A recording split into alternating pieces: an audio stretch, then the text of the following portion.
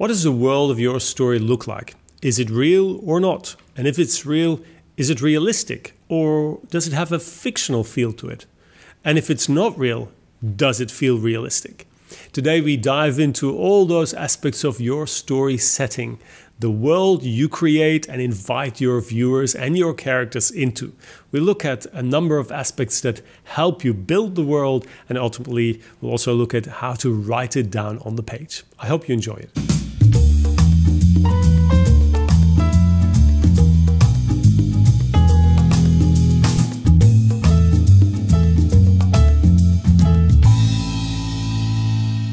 Many films have as a title a location. Uh, think about the movie Australia, Chicago, Munich, Madagascar, Philadelphia.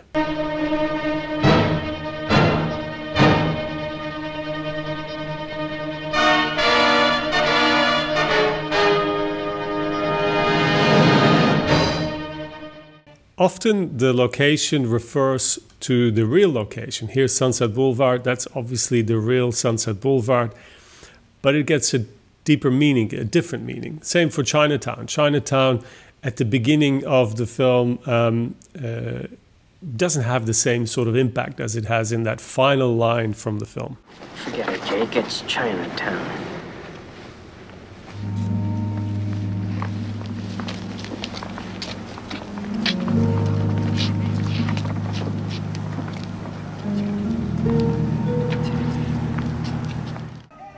So, so, sometimes the location is real. Sometimes the setting is an existing setting, and then you can borrow from the real world elements, which helps inform the story, gives it a sense of truth, honesty, verisimilitude. Sometimes you'd build from scratch, and in certain genres, worlds are very different from what we encounter in our real lives. That gives you a certain amount of freedom, but it also forces you to set your own rules. Even fictional worlds have a great sense of reality or realism in certain cases.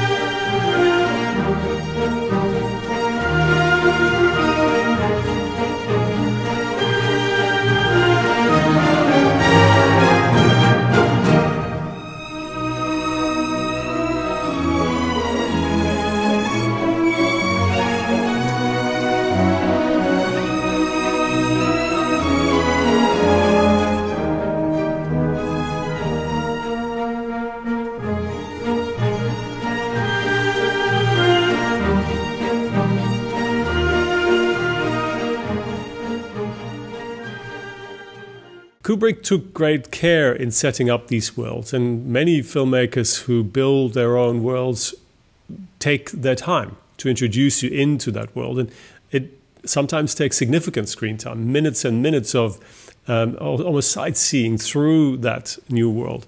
The opening of Alien is a minute long travel through the Nostromo.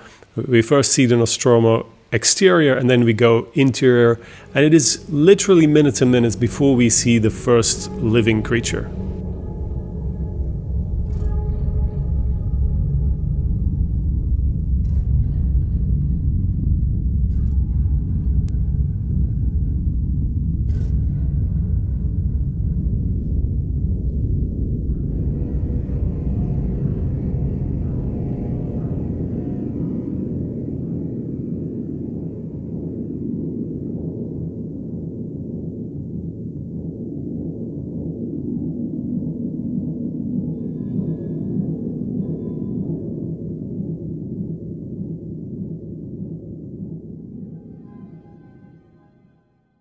This use of detail is is really important and really effective. That opening card with the details about the Nostromo, the technical details of Nostromo, number of crew, its cargo, and its course.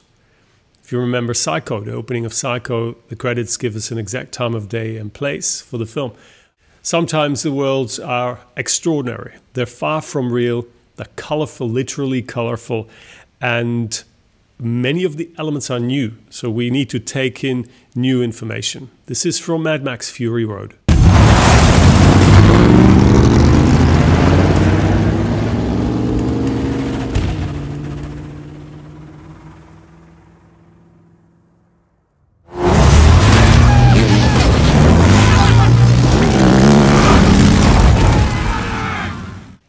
And the reason I showed you this short clip is to demonstrate that world building and setting uh, description is not just about the physical world, it's not just about the surrounds. It's also about the characters that inhabit those worlds, the creatures that live in it, and that will later become part of our story. So, the more they become part of that world, the more realistic, the more credible and plausible your story will be. There's a sociological, demographic aspect to it. And our next clip from the same film illustrates this. It's coming. Get, ready. Yes.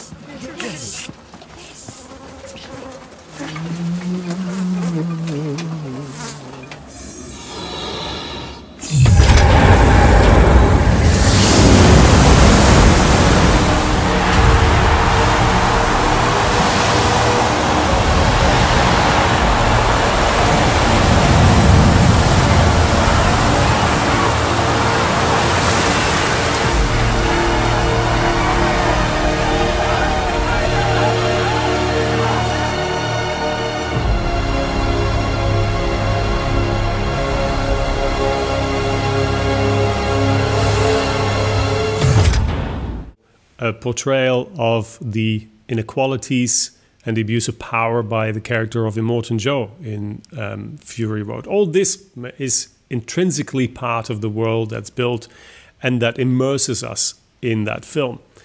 Another uh, outstanding feat in that respect was Avatar, where James Cameron built the world of Pandora for years and years and years before he actually um, uh, brought it to the screen. Here's a very short clip in which we see the contrast between the natural beauty of Pandora and the mines and you know the human presence um, on that moon.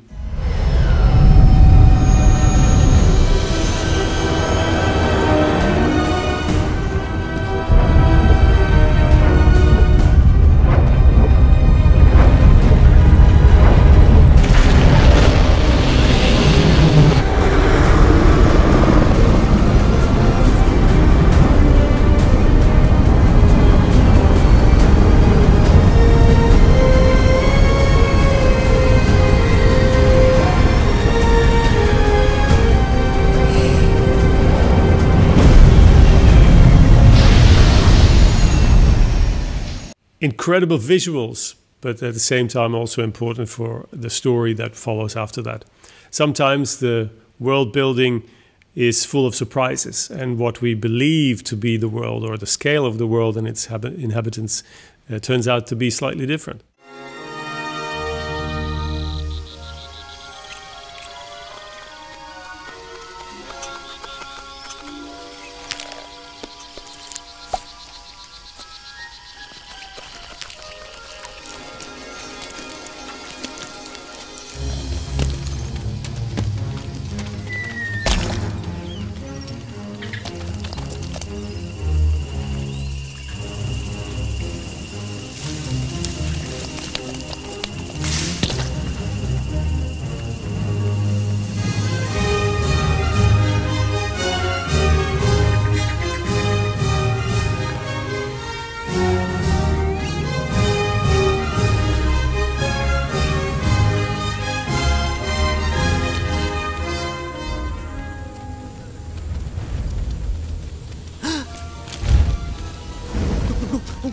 Very important for the world building here is the social uh, demographic, the, the social structures as they are in an ant colony.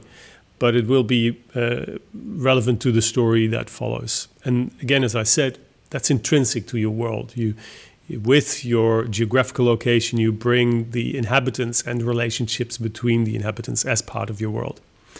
Going to a film that wasn't so successful is still absolutely worth watching, and that's Alex Garland's Annihilation. Incredible feat of world building there. Um, at the same time, quite challenging because in the script, it is often really difficult to describe something we have never seen. In Annihilation, there's the concept of the shimmer. First, I'm going to show you what it looks like, and then uh, later we'll look at how that is described in the screenplay by Garland. And that then will segue into that other um, contrast that I mentioned previously man versus nature, more specifically, the military versus nature.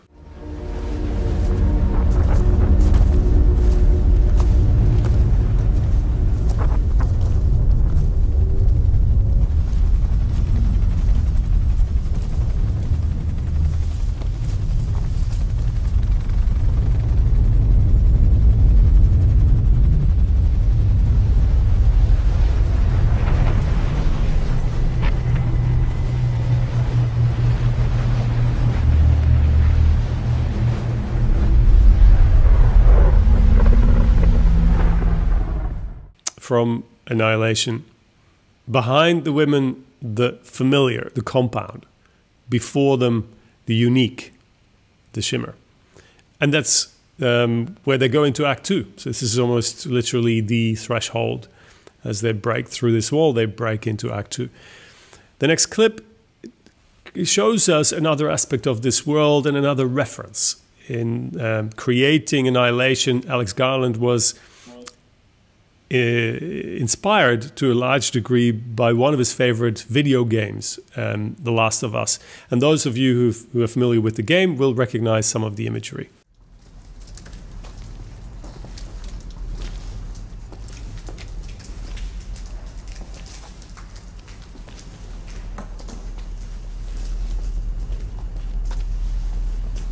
There's beds and bags. You think people are here? We're here. Yeah, I'm gonna go with the past tense.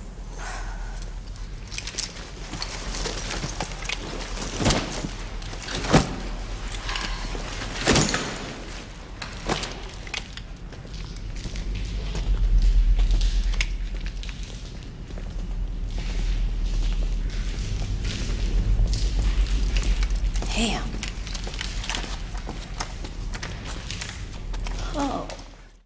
So contrast between this dystopian world, um, leftover of the human presence, the abandoned buildings, and then nature that's pushing in, that nature that's abundant and and threatening to uh, remove the, the, those um, human creations. So you see that in Last of Us. Again, also the constant imminent threat, uh, the presence of military elements, the desolation, probably as well important when you build these worlds is a good balance between the unique and the familiar. I would imagine that if you are not familiar with that post apocalyptic world, and there's a lot to take in, there's a lot that is new in Annihilation, maybe too much, maybe it is too weird and um, unfamiliar. Um, I enjoyed the film uh, to a large part because it kind of brought me back into that world that I enjoyed in the in the game. So balance out the unique and familiar. Now, I think the failure of Annihilation was not necessarily the fault of the world building. It was probably an, a narrative issue. I've published an article about that if you're interested. Totally familiar, uh, although still quite unique, is that opening of the Fellowship of the Ring. It has been remarked by some that Hobbit's only real passion is for food. A rather unfair observation, as we have also developed a keen interest in the brewing of ales and the smoking of pipeweed. But where our hearts truly lie is in peace and quiet and good tilled earth. For all hobbits share a love of things that grow. And yes, no doubt to others our ways seem quaint. but today of all days, it is brought home to me. It is no bad thing to celebrate a simple life. And in many of those aspects, hobbits are just like humans. We ultimately like those simple things that make us happy, even if we don't live in that idyllic, perfect world of the Shire. Fantastical entirely non-existent, built from scratch by Tolkien, but with elements that we that are familiar to us. Sometimes we anchor our stories in existing locations, in real places that look exactly the way they look when you were to visit them.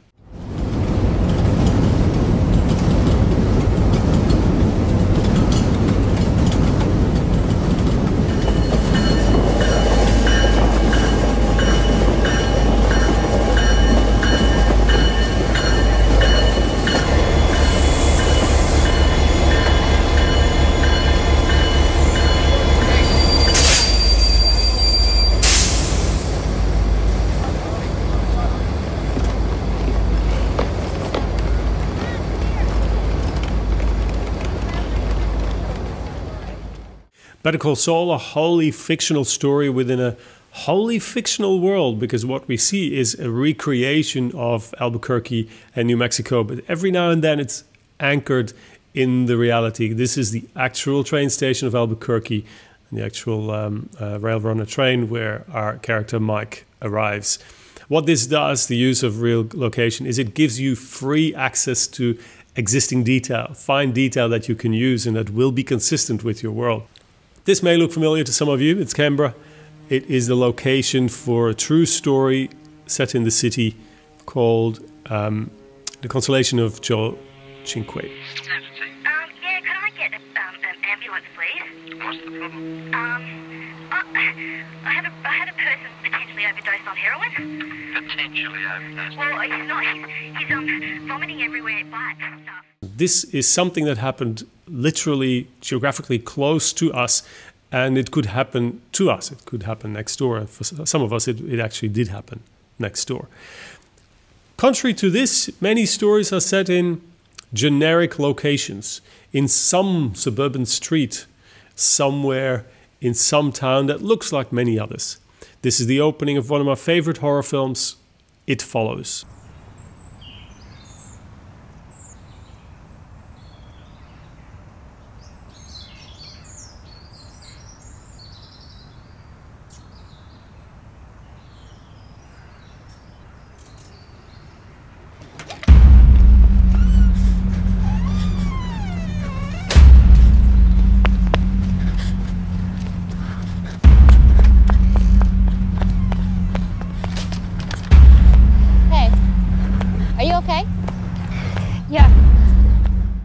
In this case, it's America, but it could be anywhere. Many streets around the world look exactly like this one. As you pick your location, as you build your world, you need to be aware of the rules you set for that world. And one of the rules starts with is this a real existing location or is this something fictional? If it is fictional, you may, ha- may have some uh, more freedom, some more liberty, but that means that you're going to have to set your own rules. At least they're keeping them separate from us. I want to be realistic with everyone. The aliens will not be able to go home. The aliens are here to stay. There were literally thousands of different theories as to why the ship seemed inoperable. And what was speculated was that a command module had detached itself from the main ship and then somehow mysteriously become lost. Did it fall by itself or was it programmed? I don't know. Examination of the old video footage shows very clearly that a piece falls from the ship. news style opening of the film District 9, set in Johannesburg, helped make this film look real.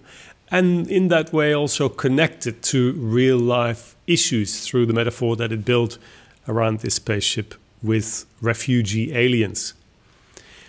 Other films create fictional worlds within existing worlds. Um, Matrix, most Australians will know that The Matrix was filmed in Sydney all three films, all three matrices, although the rest of the world may not be aware because the landmarks are missing. And even if you look very carefully, it's hard to see where exactly we are.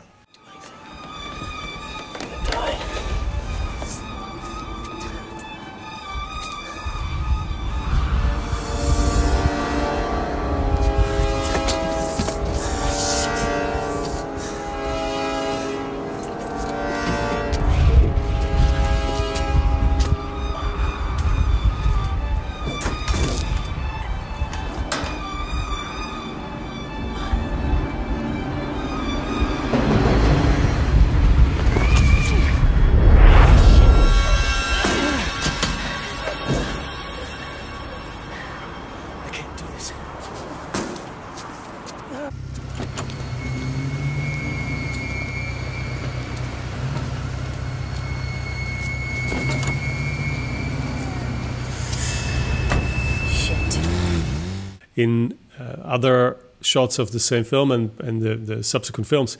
In the special effects skylines, you see they, they've been completely manufactured from the ground up and not resembling any existing city. You also need to set up other types of rules. And in the Matrix, there are certain physics, rules of physics that are defied as you read the description here how Trinity moves and jumps from one roof to the next Second paragraph, her movement so clean, gliding in and out of each jump, contrasted to the wild jumps of the cops. I'm going to go down now.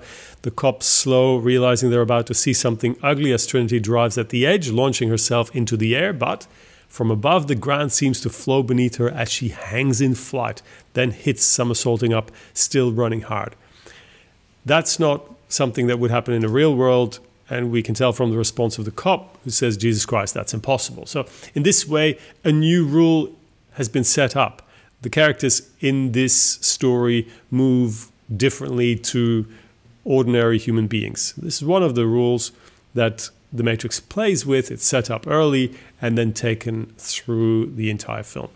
Now, in Westworld, you have this, this setup, theme park, so to speak, that is its own world but in later seasons, we leave the theme park and we go into the real world, and we learn that the real world is again a fictionary version of our real world. It's not anywhere near uh, the world that we know we live in.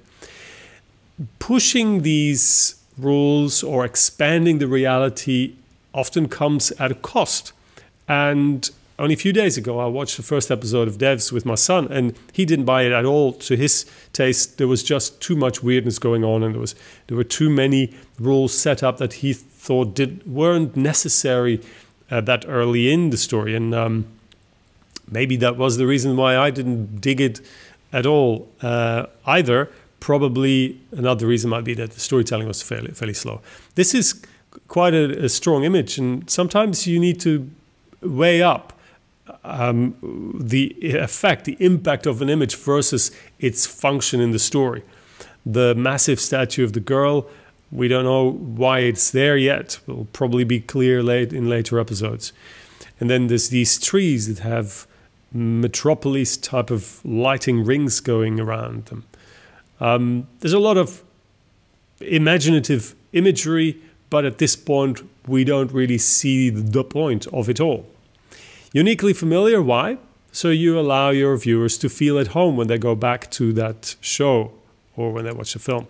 A place we want to spend time, even more so when it is a long running TV show. At the same time, you try to make it fresh and surprising because you don't want it to go stale. And often viewers will reward you when they feel they learned something. There's something new that they didn't know that has some anchor in reality. I promised to go a little bit more deeply into television and games. Uh, and personally, I believe that world building is even more important in TV and games than it is in feature film. In feature film, you only need your world for about an hour and a half, two hours, two and a half for epics. In television, you need to bring your viewers back to that world over and over and over again. You don't want to exploit that world in a way that there's nothing left to be discovered or it gets stale. So it needs to be rich and it needs to be an aspect to that world that your audience loves enough so they keep coming back. I certainly have that with TV shows. I love Breaking Bad and, and uh, uh, Better Call Saul, partially because it's set in New Mexico, and the New Mexico that these storytellers have created is something I love going back to. Um, same for the world of Big Little Lies. I thought it was a very strong, recognizable world, and it probably isn't too close to the real Monterey because it was based on North Sydney, but it was believable enough for me to want to go back there. A few years back, I played a game called Borderlands that I found incredibly enticing.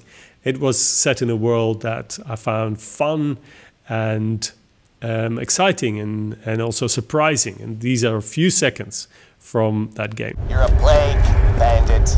You and your kind have corrupted Pandora with your greed and your hatred. It comes down to me to save this world from your kind. But I'm more than happy to do it.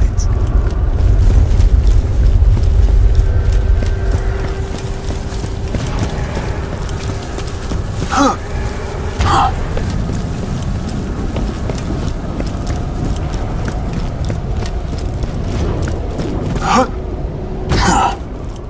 Some elements of this world are vaguely reminiscent of Mad Max. Some of what we see here is kind of similar in its principles and its design elements to the, the Fury Road creatures and, and landscapes. Um, then again, there was there were a few more Mad Max movies before this game was released, so maybe Borderlands also borrowed from Mad Max, and in that way, the whole pop culture universe keeps borrowing from um, each other. Um, this is a version of Los Angeles that looks real. It has the shutters on the beach, yet it's a game. It's me in my car in Grand Theft Auto. This is Venice Beach. Some elements are very recognizable, but in others are entirely fictional. The world is more compact than we know it, but you will recognize a lot of um, familiar landmarks. And it looks like I'm drunk here because I'm just still learning to drive in this game. If you're not for the violence of GTA, you may be more at home in the lush countryside that um, I have explored on my horse in Red Dead Redemption. And this is literally a game I spend hundreds of hours because it's quite relaxing at night when I'm too tired to watch a movie because I'll fall asleep. I just hop on my horse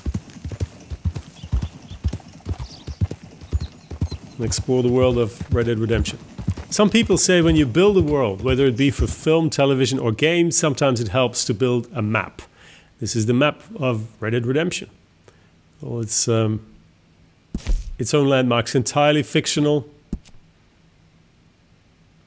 and quite a bit of detail. And it's large too. It takes a long time to explore this uh, this map. You may not like any of those. It's all subjective, obviously, and subjectivity is critical to how we experience the worlds and even when we build the worlds. The worlds we build need to be somehow reflective of our characters and how they feel. I thought I was uh, suitable for this class. Some people might think this is wonderful, this is beautiful, it's Bruges. Others will disagree with you.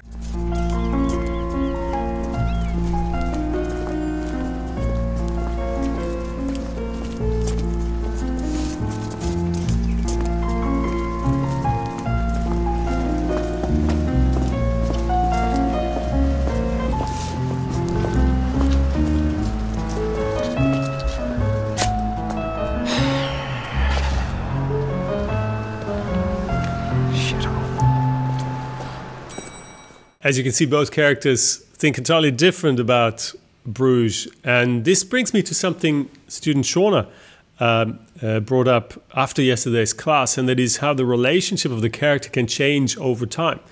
As the, the character transforms, often their uh, relationship to the world changes as well.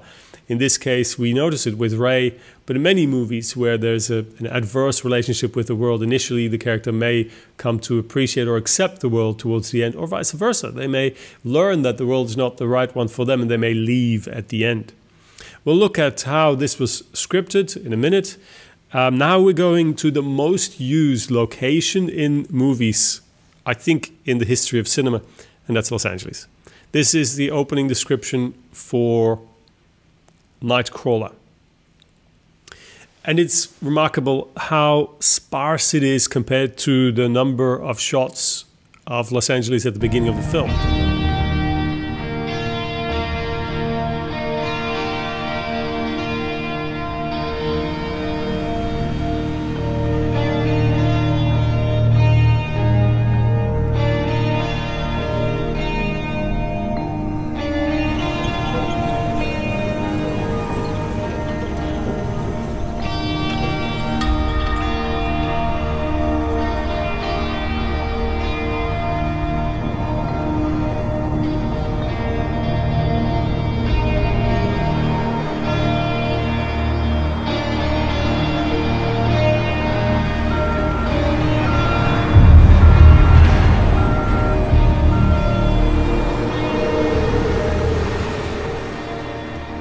No mistake, this is not the real Los Angeles. The images are real. They're taken probably without setting these scenes. This is what happens at night in Los Angeles, but it is a perspective of the city. It's a perspective that suited this particular story. It's one look at this city that serves the story of Nightcrawler.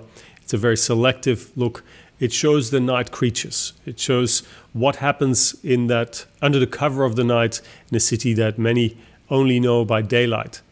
And that is that that is it's a fake version. It may have real aspects to it, but it's really stylized to serve the perception of our character of this city. More subtle, certainly, than the portrayal of Paris in movies like An American in Paris, where this is abundantly fake. Just look at it. No wonder so many artists have come here and called it home. Brother, if you can't paint in Paris, you better give up and marry the boss's daughter. We're on the left bank now. That's where I'm billeted. Here's my street. In the past couple of years, I've gotten to know practically everyone on the block. And a nicer bunch you'll never meet. Back home, everyone said I didn't have any talent. They might be saying the same thing over here, but it sounds better in French. I live upstairs. No, no, no, not there. One flight up.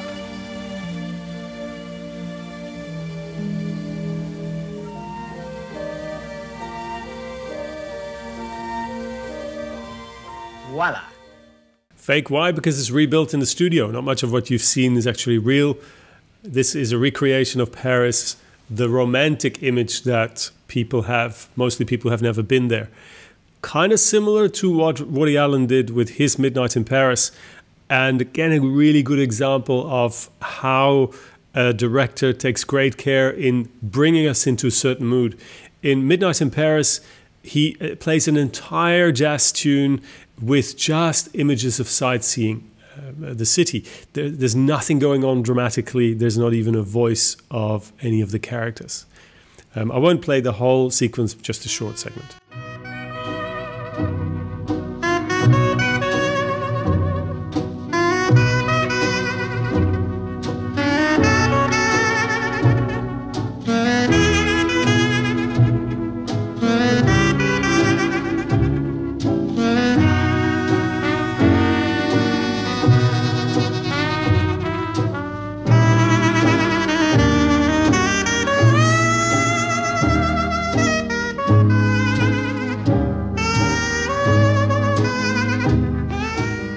Later, we'll see images of Paris in the Rain, which emphasizes nostalgia, which is exactly what Woody Allen needed. So it was really tailoring the images of the city to, to um, suit the story that he's going to tell. In that respect, it's kind of similar. The approach is it's almost identical to what Gilroy did with Nightcrawler, uh, only at night for Los Angeles. So really a flavor of this city that fits the story really well. And do not underestimate how much work goes into that. And as a writer, you it's you're the first person to bring that into the story through the screenplay. Here's uh, uh, another example from Spike Lee introducing us to the Brooklyn of Do the Right Thing. I have today's forecast for you. Hot! The color for today is black. That's right, black, so you can absorb some of these rays and save that heat for winter. So you want to get on out there, wear that black, and be involved. Also, today's temperature is going to rise up over 100 degrees, so that's a Jheri curl alert. That's right, Jheri curl alert. If you have a Jheri curl, stay in the house, or you'll end up with a permanent plastic helmet on your head forever. Early role for Samuel L. Jackson in uh, Spike Lee's Do the Right Thing. Even the weather is part of your world. When you create your setting, this is one of the aspects you need to keep in mind together with the geography and the, uh, the sociology of your city. A really thorough analysis of the setting of Baltimore in The Wire you can find in the, the Wire Bible. So, this is the David Simon's pitch to HBO for The Wire with a description of his version of Baltimore. Eastern Rust Belt city, majority black, but with an ethnic element still clinging to certain quadrants as well as parts of the power structure. What he's describing here now is not Baltimore as the city that the people who live there know. This is the Baltimore that will appear in The Wire. So it means that these elements will play a critical role in the plot. The city is poor, undereducated, and struggling with huge heroin and cocaine problem. And then the final paragraph, downtown locales are better, more vibrant, but even there, we have a sense that this is a city that has not seen its share of post industrial investment. We go back to LA. This is Los Angeles as seen in the film Drive.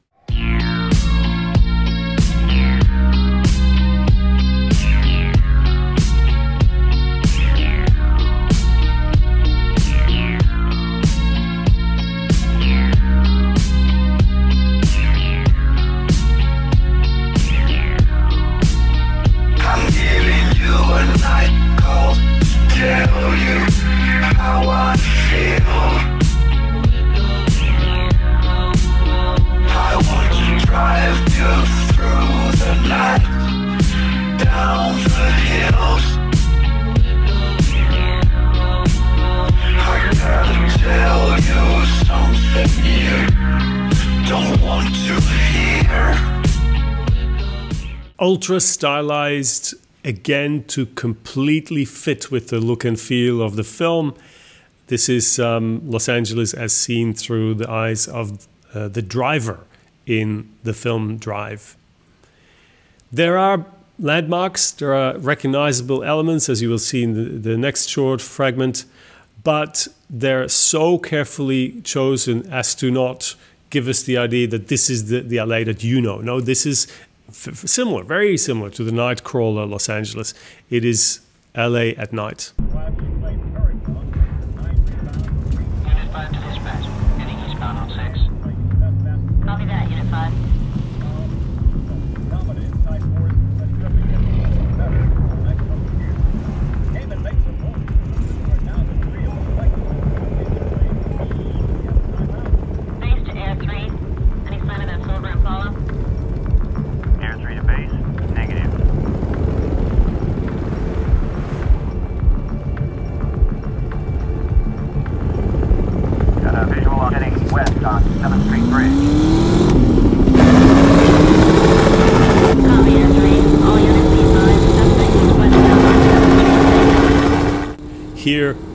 It's possible to follow how the driver navigates through the actual streets of Los Angeles, and it's almost like a simulation. You are there, and it makes it all more plausible, despite the fact that the story is entirely um, fictional. The challenge for you as a writer is how much detail are you going to include in the screenplay without overburdening the read?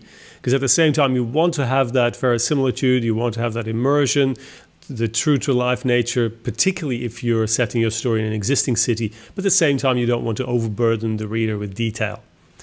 Stratification, I've mentioned that word, that is something that we see in that Bible by David Simon. What does it mean? Stratification is the act of sorting data, people, and objects into distinct groups or layers when you have a world with lots and lots of characters, which is certainly the case in The Wire, there are dozens and dozens of relevant characters over the seasons. It's hard to navigate through those and just keep a clear uh, a clear view. The way Simon addresses this is he subdivides his characters into three strata. There's the station house with McNulty in the Bible, he's still called McCardle, Greggs and Daniels, those names were retained. Then we have the courthouse and the street with the dealers. So these are groups of people that have their own little microcosms and they interact. And where they interact, that's where the drama happens, that's where the clashes happen. I've shown you this end sequence from episode 401, um, Boys of Summer, where we see exactly that. We see the shots of the um, the areas where these groups live. So the first one is here where um, Chris and Snoop board up a house in the low rises in the poor area where the houses are vacant. It's not a place you want to live. And then we skip forward to the next scene, which is almost a tourist shot by the harbor. A park by the harbor, and this is Tommy Carcetti the character who's running for mayor. He represents the courthouse. Well, oh, you need to be fine somewhere else. Park Curfew was midnight. City's averaging murder a day. And then we end the show back on the street with one of the boys who was the lead in the A storyline of this particular episode. Actually, take that back. I don't know whether it was A. I never properly analyzed. It's one of the key storylines in that, that episode. Brings us to this segment where we talk about how setting becomes relevant on a scene basis as well. Because you're going to build your story world for your entire screenplay or for your entire season of television or for your game, but then you're going to have to make decisions on a scene by scene level. Halfway, Little Miss Sunshine, there's the meeting of Richard and Stan about the book. In the screenplay, this meeting is next to a dumpster in the parking lot of the hotel. And this is how the dialogue starts. Richard says, You said it would sell. Stan is, It's what I thought at the time. It's a great program. You said yourself, I don't understand. It's not a program, Richard, it's you, okay? No one's heard of you. Nobody cares. So this is a, a low point for Richard. Hence the choice of Michael Arndt to place this scene by the dumpster, which is obviously symbolic. And it emphasizes the emotional content of the scene. This is a really good criteria on how to choose where you're going to set the scene. You want to re- realize a certain emotion, you want to create a certain emotional impact. Location is one of the elements you can play with. So, where you set your scene will help you achieve that outcome. Richard exhales, shakes his head, gathers himself, and I'm going to show you what happens next in that scene. And what you'll notice is we're not in the, in the parking lot. What, what's the next step? There is none. We had our shot. It didn't fly. We move on. You, you, you mean give up? Hey, wha- oh, hey, one setback here and, and you're ready to just quit? Richard, listen. I pushed this thing hard, okay? I rammed it down their fucking throats, and no one bought it. It's time to move on. You're not gonna win this one. Okay. Okay, you know what? Good. I'm glad. You know why? Because this is what the nine steps are all about. Right here, Stan. Right here. Richard. Yeah, no, you blew it. You blew it, you're out. And the reason is probably because of the lighting, uh, or because they already had it set up in, in that hotel. Maybe there was no parking lot with dumpsters available. Who knows? Probably productional reasons. This is the opening scene in Chinatown. I have highlighted those elements that contribute to the world building on a scene scale. So, this is how we experience Gittes's office in the screenplay. Rather than bundling all this detail up front and give us an information dump in terms of the setting, it's peppered throughout a dramatic scene. And you can do the same thing with your entire world, with your entire uh, entire scene, uh, or rather, uh, story world building.